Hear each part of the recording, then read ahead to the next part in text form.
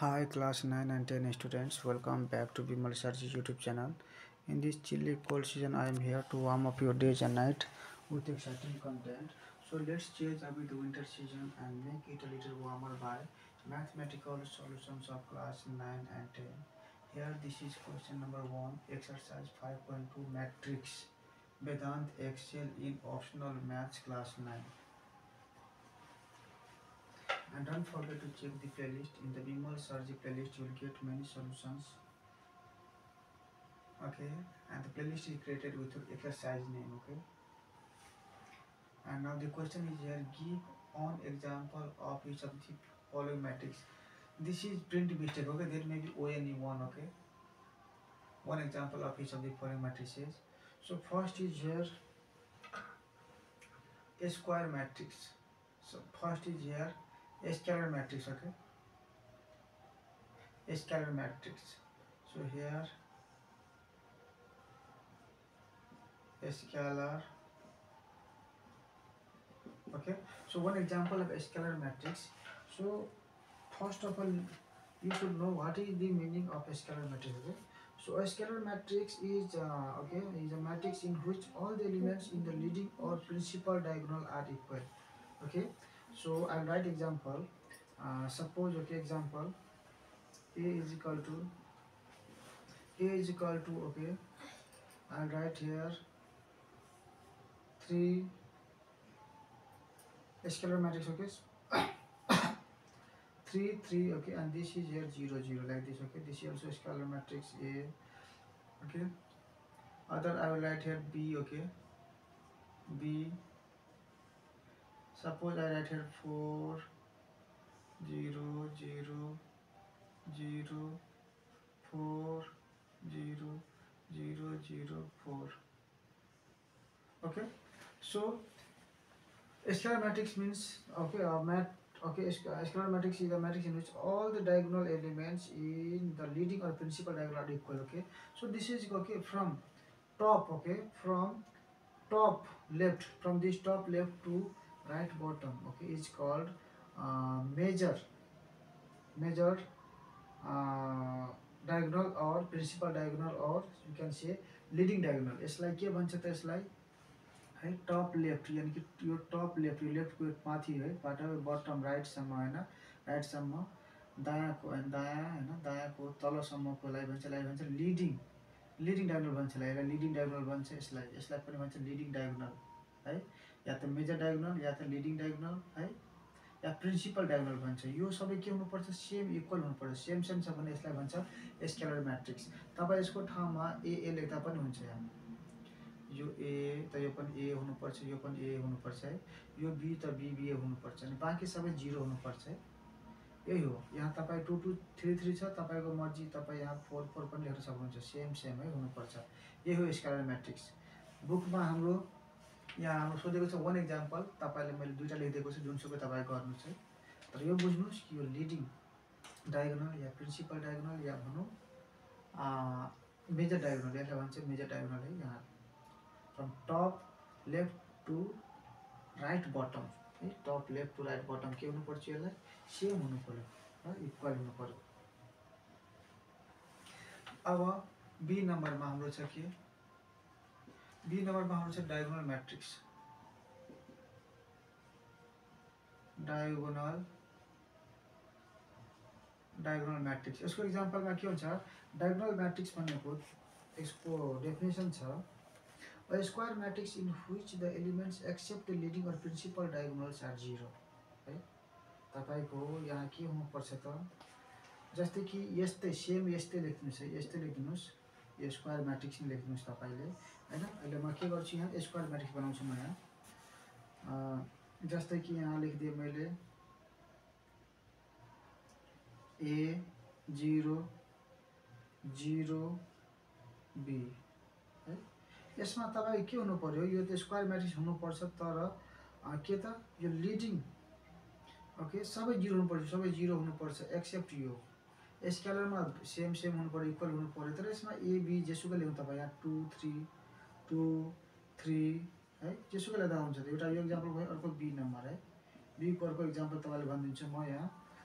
तपाईँको यहाँ जस्तै कि यहाँ सबैलाई पहिला जिरो जिरो गर्छु zero zero zero zero zero zero zero zero zero भयो। हेर यो डायगोनल म्याट्रिक्समा के हुन्छ भने सबै जिरो हुन्छ एक्सेप्ट यो डायगोनल जुन छ नि यो डायगोनल म्याट्रिक्स जसलाई भन्छ लिडिङ लिडिङ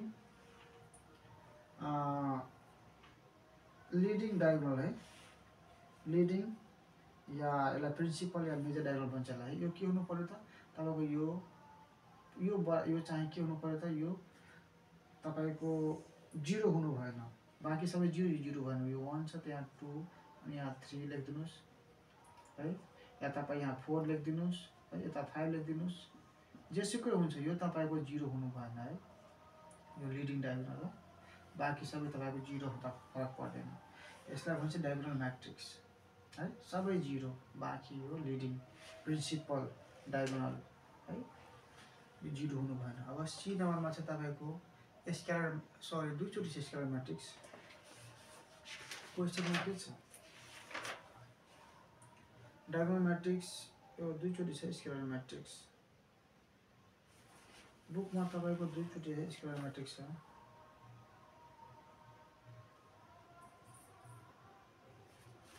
है प्रिन्ट मिस्टेकको लागि हो स्क्वायर म्याट्रिक्स दुईचोटि गरेको छ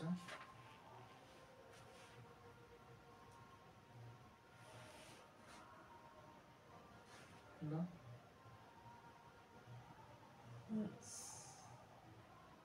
डायग्राम म्याट्रिक्स है? दुईचोटि सोधिदिएको छ सी नम्बर त सीको सेमै छ ल यसमा सीको यसैलाई गरिदिनुहोस्। सीको पनि सेमै एन्सर छ। सीमा के छ? स्क्यालर म्याट्रिक्स छ। सेम इक्जाम्पल है। सीको पनि सेमै छ किनभने सी स्क्यालर म्याट्रिक्स नै छ। जुन मैले भनेको भनिसकेँ ए जस्तै छ। अब डी नम्बरमा डीमा के छ?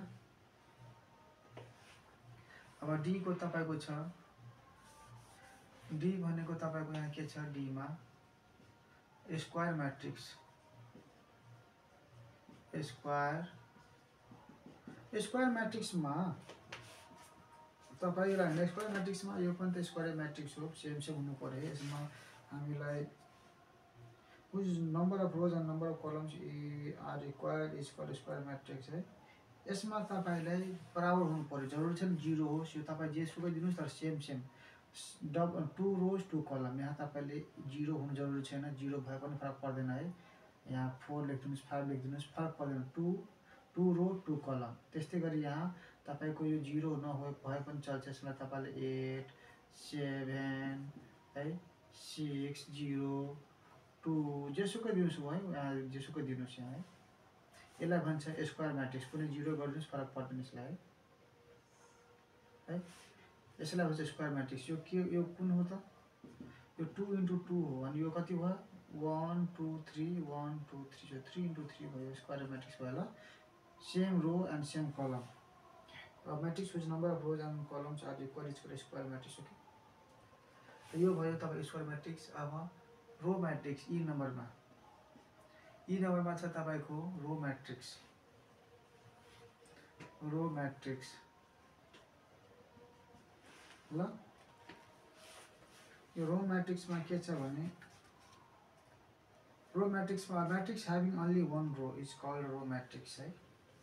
अब एउटै एउटै रो एउटै रो छ भने यसलाई के भने यसलाई रो म्याट्रिक्स भन्ने। रो म्याट्रिक्समा के जस्तै ए इज इक्वल टु छ। एउटा रोमा के हुनसक्छ त?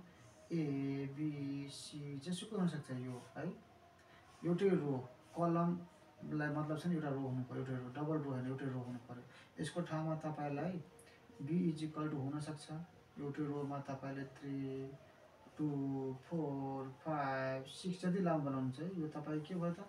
One two three three into one row है row one row into three column one two three column यो पनि one row into one two three four column है। यो भयो रो म्याट्रिक्स त्यसपछि छ कलम म्याट्रिक्स कलम म्याट्रिक्स कलम म्याट्रिक्स यो कलम म्याट्रिक्समा के हुन्छ त? कलम ए इज़ इक्वल टु के छ कलम हुनु यहाँ एक एउटै कलम भने एबिसी छ नि त ए बी सी है? कलम यहाँ। रो कतिवटा एक, दुई, तिनवटा। तर कलम कतिवटा एउटै कलम छ त? यो पनि कलम म्याट्रिक्स भयो या त तपाईँको बी इज इक्वल टु यो जुन छ नि थ्री टू फोर फाइभ एउटै एउटै कलम यसलाई चाहिँ रो इन्टु कलम कति रो कति रो भयो? एक टू थ्री तिन रो इन्टु वान कलम एक दुई तिन चार फोर रो इन्टु वान कलम है? यसलाई तपाईँले कलम म्याट्रिक्स भन्न सक्नुहुन्छ। कलम म्याट्रिक्समा के छ? म्याट्रिक्स ह्याभिङ अन्ली वान कलम ल त यो तपाईँको धेरै छोटो छ। यो जस्ट म चाहिँ हेर्नु यो सजिलो त धेरै सजिलो छ। तर पनि फेरि विद्यार्थीहरूलाई होइन गाह्रो हुन्छ। त्यसलाई मैले गरिदिएको हो। अर्को गर्नुको कारण के हो भने प्लेलिस्ट म बनाउँदैछु है। यो प्लेलिस्ट अहिले तयार गरिदिन्छु। फाइभ पोइन्ट वानको भइसक्यो। फाइभ पोइन्ट टूको प्लेलिस्ट छ। ताकि अरू अरू तपाईँको कमेन्ट अनुसारको भिडियो बनाएर म यस प्लेलिस्टमा है राखिदिन्छु। त्यही छ। आज एक दुईजनाको कमेन्ट अनुसारको भिडियो बनाउँछु म। अब हेरौँ कसको कमेन्ट अनुसार भिडियो बन्छ। ल see in the next video Radhe Radhe. जय श्री कृष्ण बम बम भोले। हर हर महादेव। ओम नमः शिवाय।